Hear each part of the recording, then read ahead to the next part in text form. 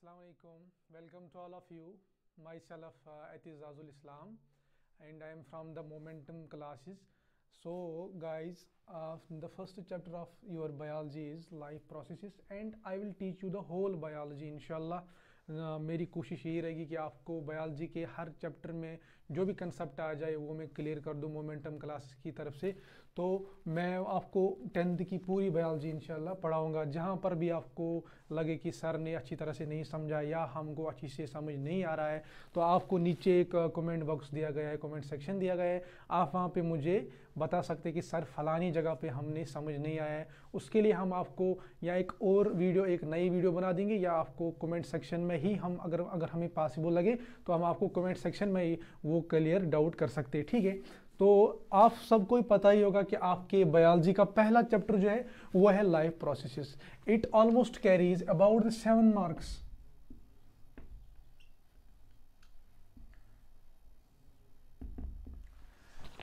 so students जो class tenth होता है, ये आपको आगे जाने के लिए एक सीढ़ी का एक पहला स्टेप है.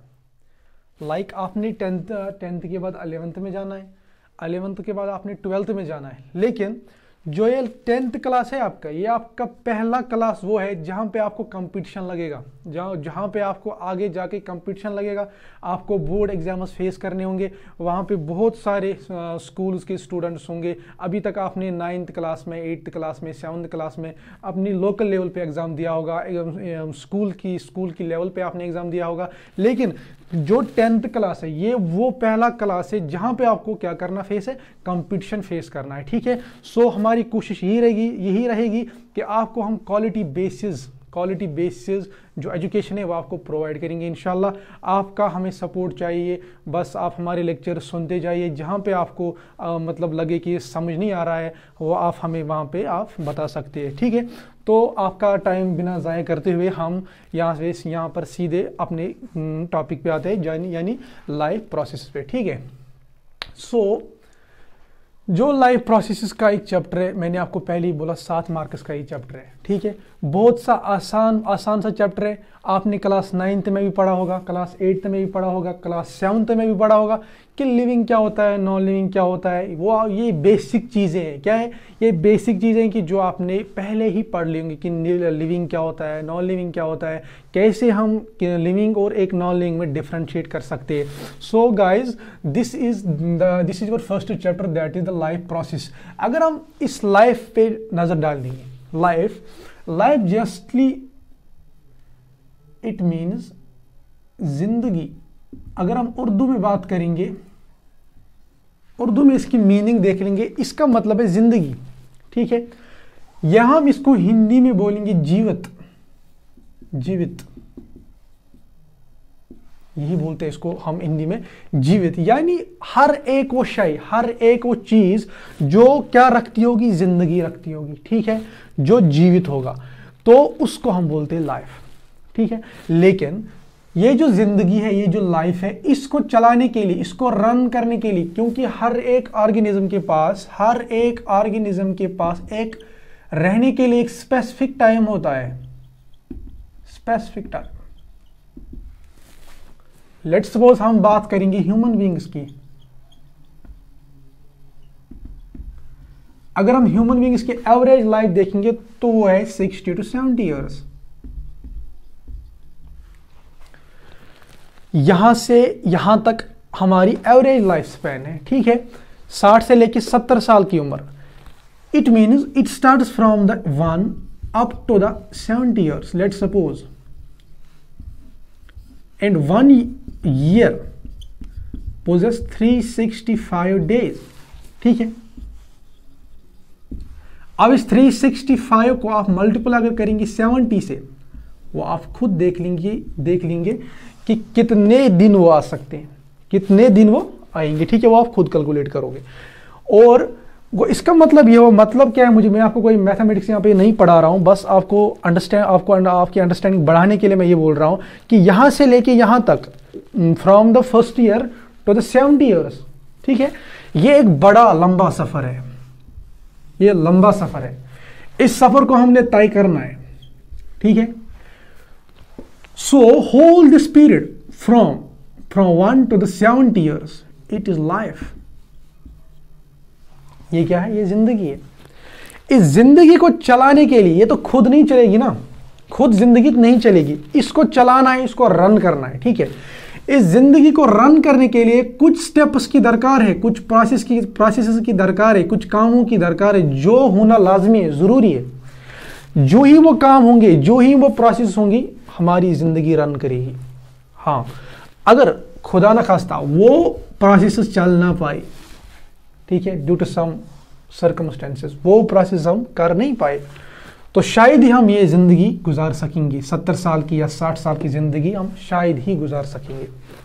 सो so, सर मतलब क्या है कहने का? मतलब ये है कि जो ये लाइफ है ये ज़िंदगी जो है इस ज़िंदगी को रन करने के लिए कुछ प्रोसेस की ज़रूरत है। उन प्रोसेस को हम लाइफ प्रोसेस बोलते हैं इन सिंपल वर्ड्स ठीक है? उन प्रोसेस को हम लाइफ प्रोसेस बोलते हैं। सो सर एक ऑर्गेनिज्म है लिविंग ठीक है? एक ऑर्गेनिज्म है लिविंग इसको हम डिफ्रेंशिएट करेंगे।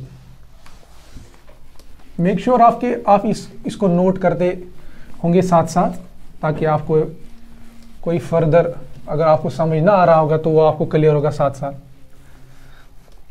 या आप स्क्रीन शॉट भी इसका ले सकते हैं, ठीक है? सो लिविंग इसको हम अगर हम डिफ्रेंशिएट करेंगे विद द नॉन लिविंग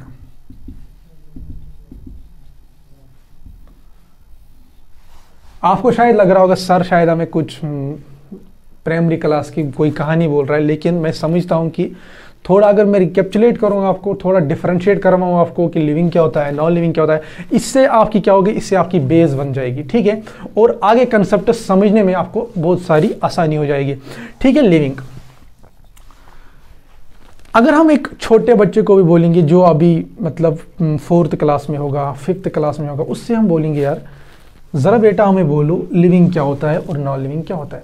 वो सीधे बोलेगा लिविंग वो होता है जो चले जो खाए जो पिए जो बातें करे जो मूवमेंट्स दिखाए उसको हम लिविंग बोलते हैं।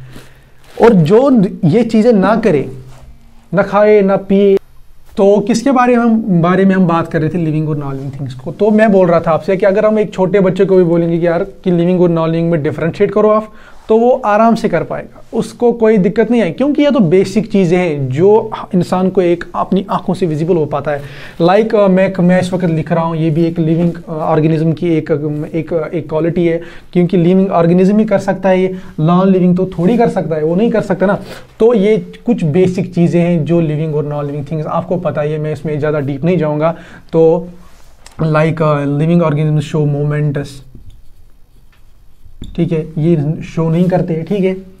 ये आ, क्या करते ये लाइक ईट करते ईट फ़ूड इनको तो ज़रूरत है ही नहीं इस चीज़ की ठीक है? लाइक ये रेस्पॉन्स करते हैं स्टूमलस को। रेस्पॉन्स टू स्टूमला ये इस चीज़ को बिल्कुल भी नहीं करते। ये रेस्पॉन्स टू स्टूमला ये क्या होता है? ये मैं आपको आगे जाके बोलता हूँ कि रेस्पॉन्स टू स्टूमला क्या होता है। तो like moment eat food response to stimuli ये चीज़ें ये सब जो ये करेक्टरिस्टिक्स है ये तो लिविंग ऑर्गेनिज्म्स की है non living organism non living things जो है उनको इन इन सब चीज़ों से कोई लेना नहीं है। ठीक है लेना देना कोई नहीं है। सो so, अब हम आगे बढ़ते हैं कि इसके आगे क्या है। सो so, सर अगर आपसे कोई पूछे कि लिविंग और नॉन लिविंग थिंग्स में आप हमें वो एक डिफरेंस बोलिए, जो लगभग, जिसकी लगभग कोई एक्सेप्शन ना हो, या जो सब में, जो जो सब पे फिट हो फिट हो जाती हो, वो सर वो कोई हमें, वो कोई हमें डिफरेंस बोल दीजिए। तो इसके लिए आपने एक बात याद रखनी है कि मेन क्राइटेरियन जो आप यूज़ करोगी to differentiate between the living and the non living things is what is the moment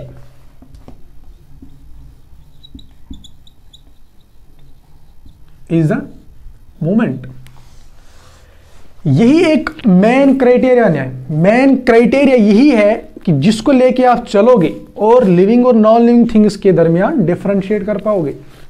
वो कैसे सर पहले आप ये याद रखिए, ये मेन क्राइटेरियन है।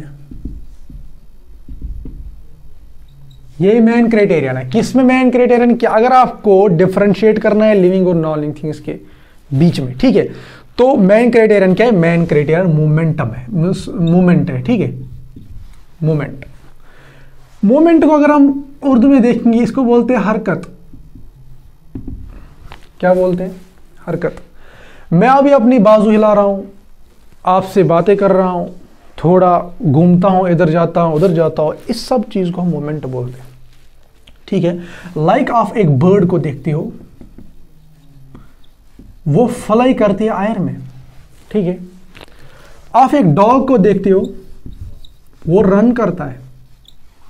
ठीक है? आप एक बटरफ्लाई को देखते हो,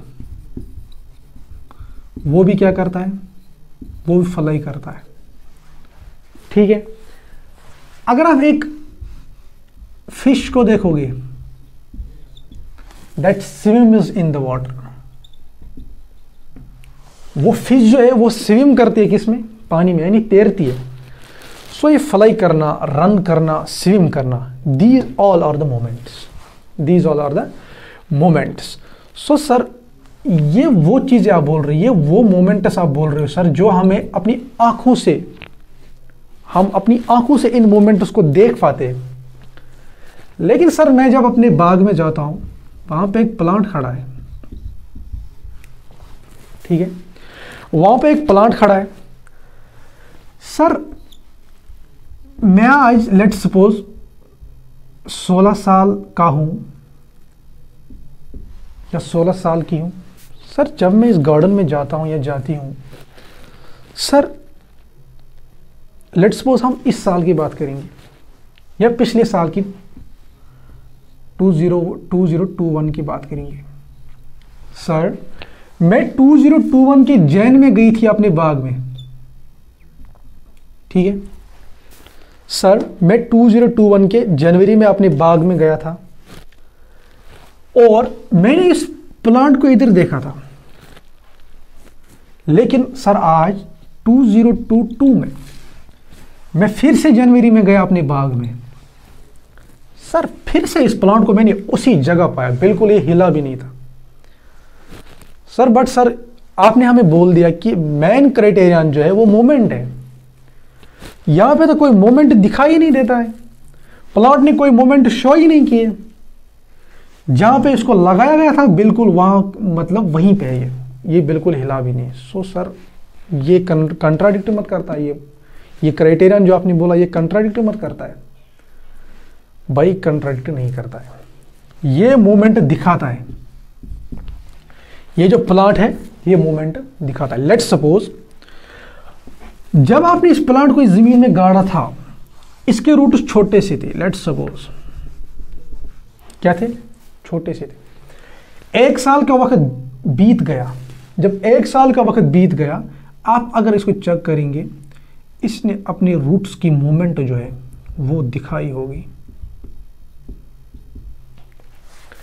इजेंट इट अ मोमेंट क्या ये मोमेंट नहीं है? ये मोमेंट है क्योंकि रूट्स ने क्या किया है?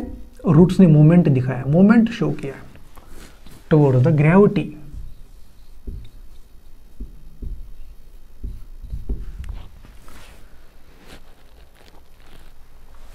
आगे जाके आपको ये मालूम हो पाएगा टुवर्ड्स द ग्रेविटी हम इसको एक फिनामिनन बोलते हैं।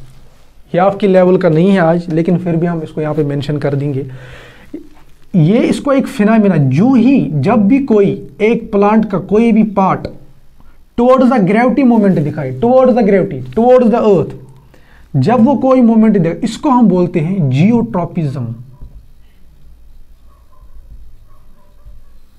क्या बोलते हैं? जियोट्रॉपिज्म के नाम से हम इसको जानते हैं। Movement towards the earth as already you know that geo means earth ठीक है? सो इन रूट्स ने कहा कि किसकी ओर मूवमेंट दिखाई? इन इन रूट्स ने ग्रेविटी यानी ज़मीन की ओर मूवमेंट दिखाई। So it is a movement and it is the only characteristic feature of living things it is the only characteristic feature of living things which show the moment which show the moment sir कोई और example दे दीजिए। उससे clear हो सकता है, इससे ज़्यादा बेहतर।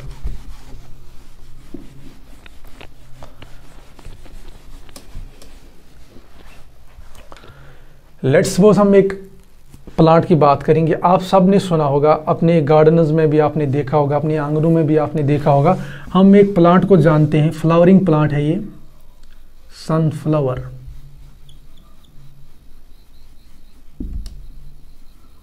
जानते हैं ना सब सनफ्लावर को? सनफ्लावर सर इस सनफ्लावर अगर आपने सनफ्लावर बोल दिया तो इसका मोमेंट से क्या लेना देना है? आप इसमें भी बोलोगे सर रूट्स बच्चों रूट्स ये डेवलप हो जाएँगे रूट्स मोमेंट दिखाएँगे। आप इसमें भी यही बोलोगे? लेकिन इसमें कुछ डिफरेंट है।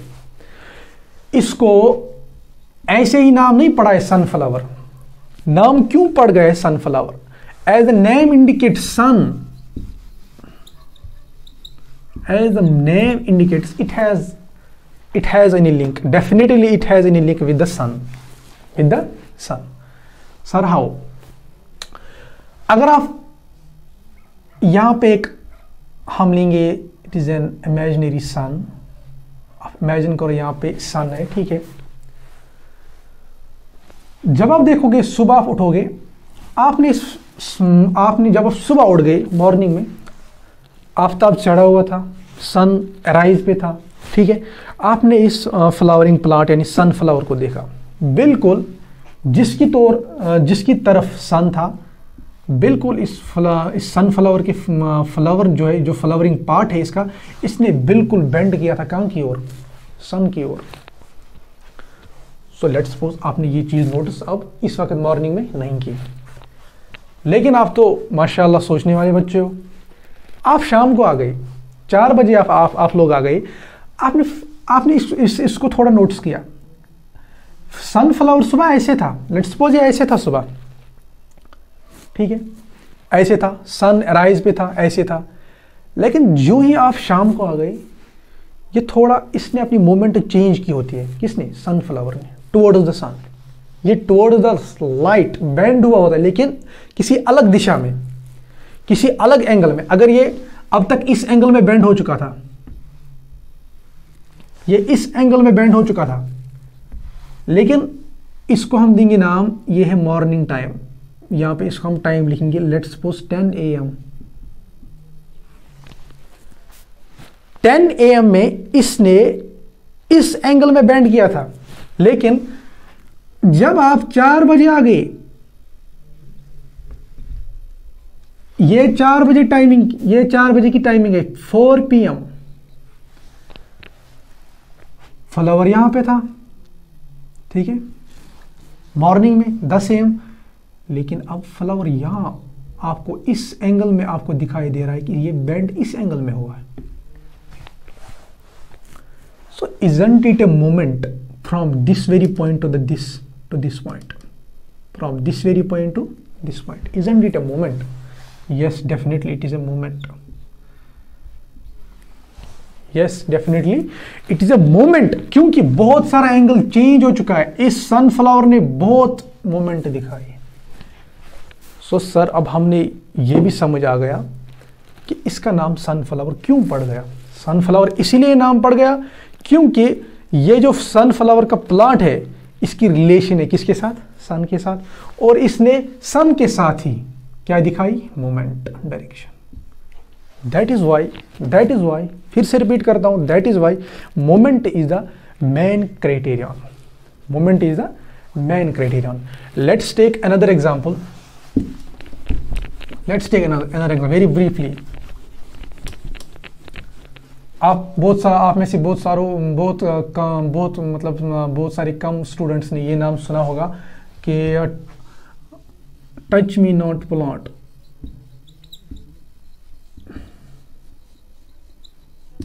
touch me not plot जिसका साइंटिफिक नेम है मिमोसा पुडिका ये साइंटिफिक नेम नेम हम कैसे देते? अभी इसमें आपको जाने की कोई ज़रूरत नहीं है। इनशाला जब आप आगे जाओगे अलेवंथ क्लास में जाओगे तो सबसे पहले आप बॉटनी में शायद यही पढ़ोगे कि इस अगर ये कॉमन नेम है इसको हम बोलते हैं कॉमन नेम ठीक है? और इसको हम बोलते हैं साइंटिफिक नेम और ये आपको क्लास अलेवंथ में अच्छी तरह से पता चल जाएगा कि हम कैसे एक आ, एक प्लांट को हम साइंटिफिक नेम देते हैं और क्या ज़रूरत पड़ती है हमें एक प्लांट को साइंटिफिक नेम देने की। वो आप वो हम यहाँ पे टच नहीं करेंगे वो आप क्लास अलेवंथ में देख लोगे ठीक है? तो सर, अब टच मी नॉट प्लांट में क्या क्या खसूसियत है, क्या खास बात है? खास बात ये टच मी नॉट प्लांट जो है टच मी नॉट जब एक जब एक साथ एक दो फ्रेंड्स बैठे हुए होते हैं तो अचानक फ्रेंड्स में झगड़ा हो जाता है, ठीक है? तो फिर अचानक से एक फ्रेंड इसको यार बोलता है, यार अच्छा सॉरी यार। फिर उसको टच करता है। जिसको वो टच करता है, वो वो उसको बोलता है डोंट टच मी मतलब क्या होता है? यार, मुझे हाथ मत लगाओ। तो सर, क्या ये क्या ये प्लांट जो ये बोलता है, क्या ये यही बोलता है कि टच मी नॉट नहीं, बिल्कुल, ऐसा बिल्कुल नहीं है। लेकिन ऐसा ही कुछ होता है। फिनामिनन वैसा सेम होता है, जैसे आपको अपना फ्रेंड बोलता है डोंट टच मी वैसे ये प्लांट भी करता है। सी हाउ ये प्लांट है, ठीक है? अगर इस प्लांट को हम टच करेंगे, क्या करेंगे? टच करेंगे। अब ये लीफ ऐसा था, ठीक है? जब ही हमने इसको टच किया, ये लीफ लीफ जो है, ये फोल्ड होने लगता है। फोल्ड फोल्ड ये बंद हो जाता है, बिल्कुल बंद हो जाता है। अभी लीफ ऐसे था, इस दिशा में था, ठीक है? इस प्लान में था। लेकिन जो ही हमने इसको टच किया, बिल्कुल गौर से देखिए, जो ही हमने इसको टच किया तो लीफ ऐसे था, जो ही टच किया तो लीफ ऐसे हो गया। बंद हो गया। so from this very plan from this very direction to this direction is it a movement yes sir definitely it is a movement so uh, in nutshell we will see that uh, the movement is the main criterion which we can use which we can use to differentiate between the living and the non-living things so so, यहाँ तक I hope I hope यहाँ तक आपको बहुत अच्छी तरह से समझ आया होगा। अब हम सीधे इस लाइफ प्रोसेस की डेफिनेशन पे आते हैं कि लाइफ प्रोसेस एक्चुअली में क्या होती है। पहले आप डेफिनेशन को देखिए। The basic function performed by the living organism to maintain their life on this planet or we call this earth are called life processes आपने यहाँ पे एक वर्ड पे फोकस करना है द बेसिक यानी बेसिक जहाँ पे वर्ड आ गया, ये तो बुनियादी है, ज़रूरी है। मैंने आपको पहले भी बोला, ये वो प्रोसेस है जो हमने सत्तर से या साठ से सत्तर साल की ज़िंदगी को जीने के लिए बहुत ज़्यादा ज़रूरी है। तभी नाम पड़ गया बेसिक बेसिक फ़ंक्शंस परफॉर्मर लेकिन एक फ़ंक्शन जो होती है, वो किसी ना किसी को परफॉर्म करनी है, किसी ना किसी को अंजाम देनी है, ठीक है? अगर हम एक क्रिकेट मैच की बात करेंगे, वहाँ पे एक स्कोर बनता है। ट्वेंटी ओवर्स में एक स्कोर बनता है, लेट्स सपोज़ 150 लेकिन ये 150 तो यू ही तो नहीं बनता है ना। ये 150 यू ही तो नहीं बनता है। इसको करने वाले होते हैं that are known as players या बैट्समैन जिनको हम बोलते हैं, ठीक है? वैसे के वैसे ही, जो ये बेसिक फ़ंक्शंस है, इनको परफॉर्म करना है, इनको करना है। खुद नहीं होंगी, इनको करना है या करवाना है। By the living organism not not living, not not by non-living organisms. These basic functions will be performed by the living organism अरे यार, अगर कोई बेसिक फ़ंक्शन परफॉर्म करेगा तो किस लिए करेगा? मकसद एम होनी चाहिए आगे। आप इस वक्त पढ़ रहे हो तो कोई ना कोई एम होगी ना जहन में। आप इस वक्त पढ़ रहे हो, आगे जाके कुछ बनना है। ठीक है, इसलिए पढ़ रहे हो। तो perform by the living organisms ठीक है, कौन परफॉर्म करेगा? Living organism so to maintain their life maintain एक होता है, मैंने कोई काम कर दिया तो एक बार में वो काम कर जाऊँ, फिर वो आगे हो या ना हो, उससे मुझे कोई लेना देना नहीं है। उसको हम मेंटेन नहीं बोलते मेंटेन हम इसको बोलते, अगर आपने आज मैंने, या अगर आपने आज पढ़ना स्टार्ट किया डे फ़र्स्ट पे आपने आज 27 जन को आपने आज पढ़ना स्टार्ट किया। ठीक है, एक दिन आपने पढ़ लिया, दो दिन आपने पढ़ ली तीन दिन आपने पढ़ ली अभी तक यहाँ पर ये चल रहा है मेंटेनेंस बीच में कुछ हो गया, आपने पढ़ना छोड़ दिया। ठीक है, फिर से कुछ हो गया, आपने एक दो दिन फिर से पढ़ा, फिर से ये छोड़ दिया। तो यहाँ पे आपको क्या देखने को मिलते अल्टरनेशन यहाँ पे मिल, देखने को मिलते। यानी यानी यहाँ पे अल्टरनेट अल्टरनेट फेजेस यहाँ पे देखने को मिल रहे हैं। क्योंकि ये तो मेंटेन नहीं है ना। अगर हम इसका ग्राफ बना लेंगे लेट सपोज़ अभी तक ये ग्राफ ऊपर जा रहा था, इस दिन में, लेकिन अचानक से ये ग्राफ डाउन हो गया। ठीक है? जब ग्राफ डाउन हो गया, ठीक है? यहाँ से यहाँ तक, यहाँ से यहाँ तक आपका ग्राफ बिल्कुल सही था। पीक पे था, चल रहा था मेंटेन था, लेकिन अचानक से आपने पढ़ना छोड़ दिया। आपका ग्राफ डाउन रहेगा, ठीक है? जो ही ग्राफ डाउन रहेगा, फिर से अचानक आपको देखने को मिलता है कि पीक थोड़ा सा अप हुआ है। और फिर से down isn't it is it a maintenance no it is not a maintenance क्योंकि यहाँ पे ब्रेकेज है।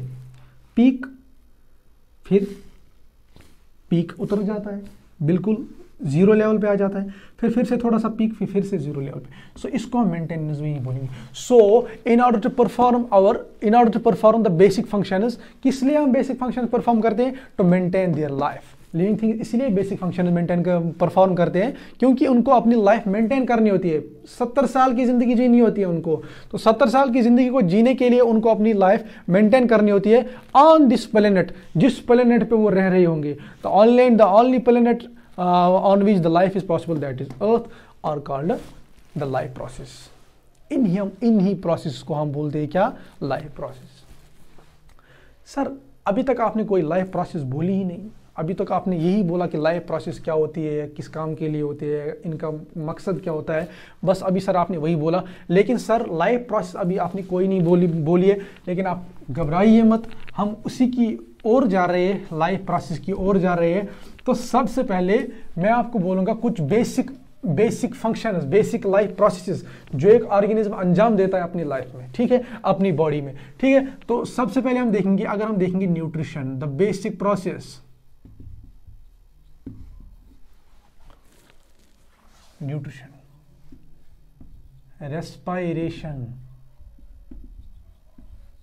ठीक है? रेस्पायरेशन कंट्रोल एंड कोऑर्डिनेशन ठीक है? और एक प्रोसेस अगर हम देखेंगे एब्जॉर्प्शन ठीक है? एग्ज़ाम से जाके आके इसको हम एक और प्रोसेस है यहाँ पे excretion these are the some basic these are the some basic functions basic processes which an organism which an organism perform to maintain their life on this earth nutrition respiration control and coordination and absorption excretion एक और process है digestion